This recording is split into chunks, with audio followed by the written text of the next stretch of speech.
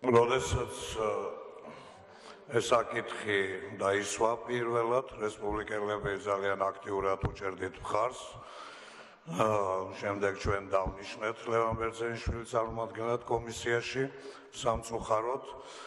პარლამენტმა ვერ შეძლო დაეკომპლექტებია კომისია. დღეს სრულიად ნათელია რომ ალბათობა საქმის მოჭარიანის თაობაზე კომისიის შექმნისა არის არა მცირე, არამედ ნულის ტოლი და ამას აღნიშნავ გულისტკივილით.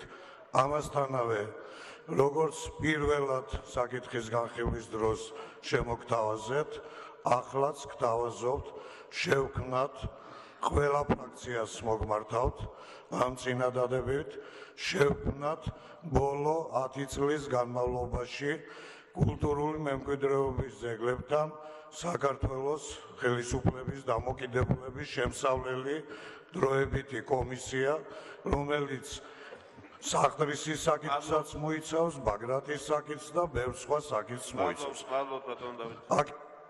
მადლობ თუ გაცრავად.